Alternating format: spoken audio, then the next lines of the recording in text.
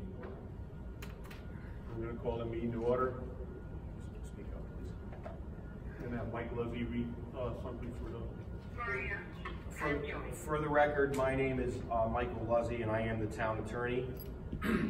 As indicated in the notice and agenda for this, uh, the finance, uh, the Board Board of Finance meeting, there is no in-person public access and no public comment. A dial-in conference call number was provided for interested persons to listen only. For those listening, I would ask that you mute your phones if you are able to do so, so that we do not get any background noise. I have one very important reminder. Every time someone speaks, a member of the board speaks, uh, you must state your name and title for the record. We must be careful to speak, not to speak over one another, so that members of the public who are listening can hear what is being said, and so we can create a clear record. I'm now going to turn the meeting over to the chairman of the Board of Finance, Mayor Joe Carfora, who will ask the clerk for a roll call after reading the preamble uh, that is listed on the special meeting agenda. I would finally add, for those participating via phone, and I don't believe there's any with the Board of Finance, uh, would indicate, so that, that's, that's a uh, moot point, so. Uh, Mr. Mayor? Town of East Haven Board of Finance, March nineteenth, twenty twenty, special meeting agenda.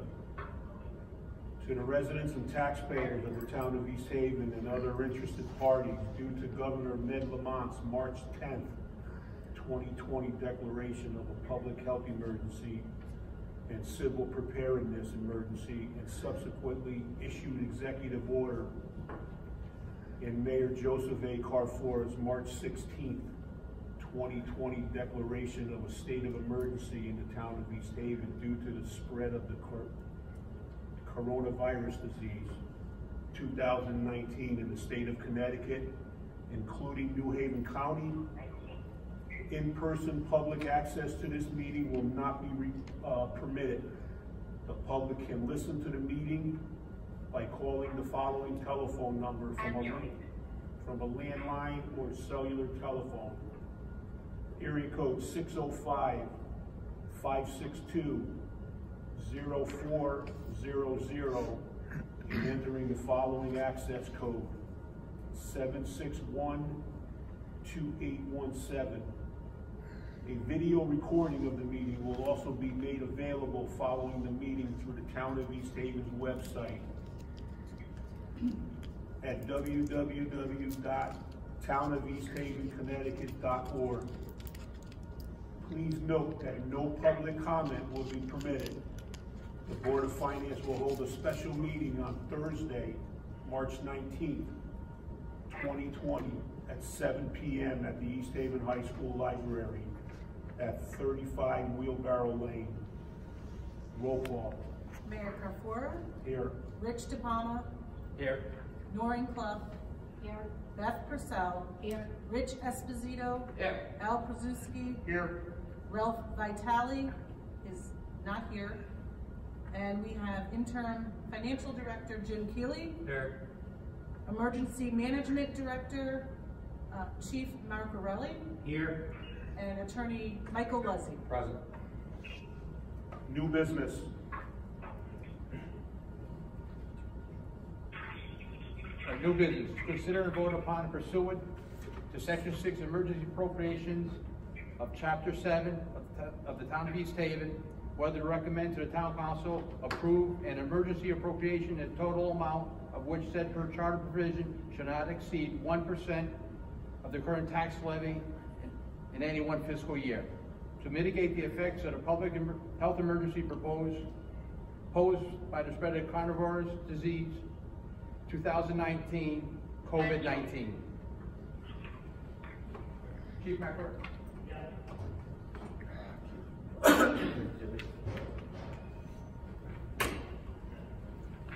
Tim Keely, our interim finance director. Tim Keely, interim finance director.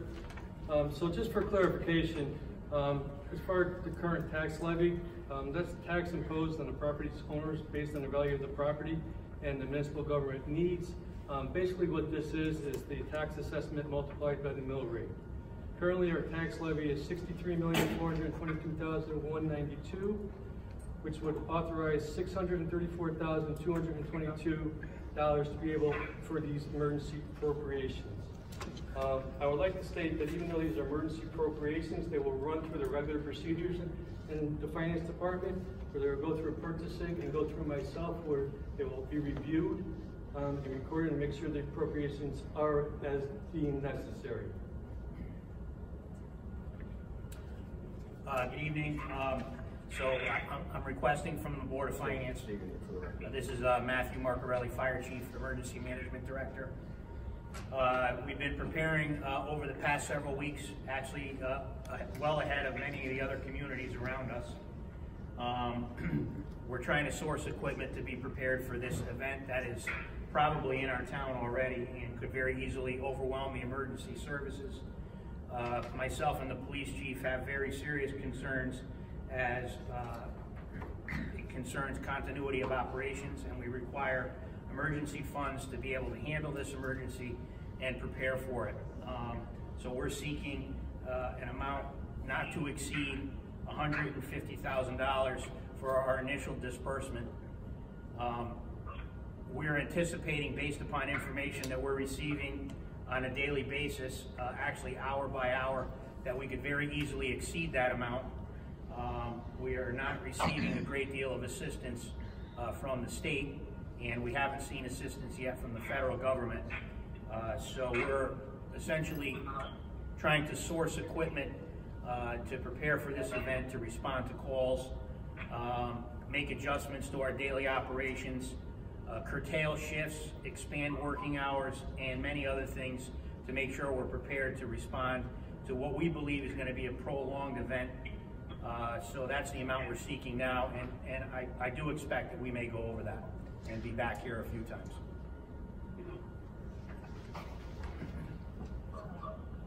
I, I, I would like to uh, just add and make an amendment to the attendance. We have Police Chief Ed Lennon here.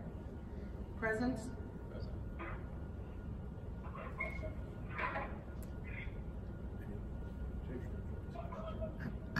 Eddie, would you, Chief Lennon? Yes. Can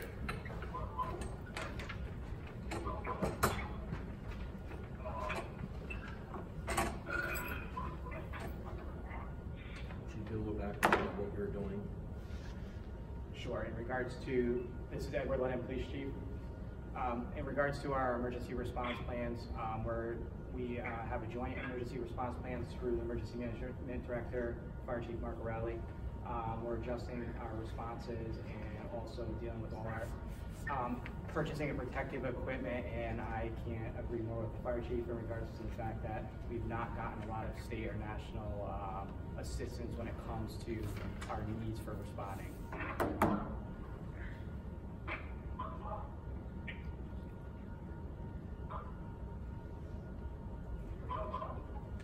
Any further discussion? Any further discussion? Uh, Lorraine Clough, Board of Finance, is there anything that we might be getting as reimbursed for putting out this fund? So, uh, as uh, the presidential declaration of uh, uh, state and national emergency under the Stafford Act, uh, we're eligible for seventy-five percent reimbursement on eligible items. Um, So we think that a large portion of what we uh, will be spending will be reimb- reimbursable by the federal government. That will be slow in coming. This is going to be a large-scale, long-term event. So uh, we, we won't see the money for a long time. But we've already instructed all department heads to um, to make sure they keep accurate records. I provided them the federal paperwork to make sure that those records are maintained and kept uh, for any assets that are purchased or any overtime that's incurred. Uh, So yeah, we would be eligible for uh, seven, up to seventy-five percent. Thank you. Richard DePalma, Vice Chair Board of Finance. This is to both our chiefs. Are all your units equipped with, uh, the proper PPE? So I know it may not be enough in the future, but at this present time, you guys got a call, are you all equipped? Uh, we, um, we don't, we're predicting that we could see as many as twenty-five hundred patients, uh, in town. Um, so that would, our normal census is about six thousand calls a year, so that would be in addition to what we normally see. Um, we think that we, depending on the volume that we get, we may have enough supplies to last about two weeks to a month. Chief? Yes, also, yes, same thing. Yes, same thing. As of today, yes, If- as it goes long term now. Just make, please make sure, for Mike Luzzy, town attorney, if we're gonna speak, please identify who you are, even if it's the second time. Sorry, sorry, sorry. Sorry to interrupt. Any other comments? Beth Purcell, Board of Finance. I just want to confirm, we're, we're, you're requesting hundred and fifty thousand right now, Yes. and where is this money coming from, the fund balance? Okay. The question was, I'm from- sorry. I'm sorry, Michael Luzzy, town attorney, the question from Ms. Purcell was, where is the money coming from? So I think that should be addressed probably to the finance, interim finance director. Jim Keely, interim finance director. Right now, the money would come from the contingency fund. We still a little bit over four hundred thousand dollars in that fund. it's hundred and fifty thousand dollars,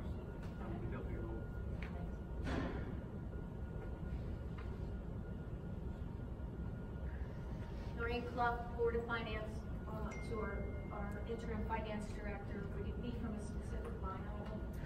Um, Jim Keely, interim finance director, yes, we have set up a, a specific line item that we've given out to the departments. It has not been used yet, um, but we did set up so that once we get approval, they can start, um, using the money, using the appropriations, and send it for to so we can get the needed equipment.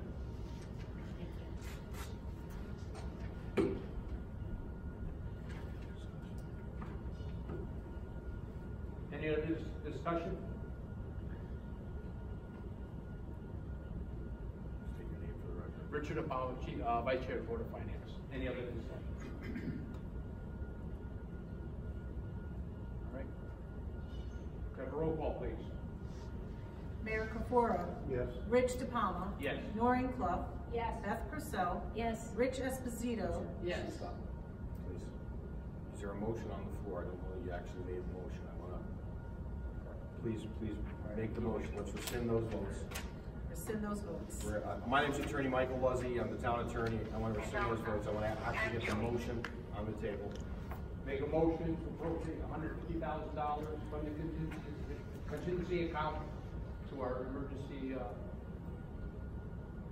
second. I, I make the motion, I'd like to amend the motion and refer it to the council. I'd like to amend, Noreen Clough, Board of Finance, I'd like to amend the motion to make sure, to move it to the Board of Finance. So the full motion is what Rich said, town attorney Michael Luzzy, Rich identified the motion. Please, Richard Powers, Vice Chair, Board of Finance, to appropriate hundred fifty thousand dollars from our uh, our contingency account to our emergency declaration pursuant to, And refer. and refer to the town council. This is a referral to the town council. Roll call. Mayor Carfora. Yes. I, We, I, please. Noreen Clough, second on the motion. Thank you. Discuss- all right. Roll call, please. Mayor Carfora. Yes. Rich DePalma. Yes. Noreen Clough. Yes. Beth Purcell. Yes, Rich Esposito. Al- Yes. Al Prazowski. Yes. Motion carried. Motion carries. Any other, uh, discussion for tonight? Motion Noreen to Clough, adjourn. I make a motion to adjourn. Second, Who seconded it? Richard DePalma, Vice Chair, Board of Finance. Roll call at seven fifteen. Mayor Carfora. Yes. Rich DePalma. Yes. Noreen Clough. Yes. Beth Purcell. Yes. Rich Esposito. Yes. Al Prazowski. Yes. Adjourned. Guys, thank you.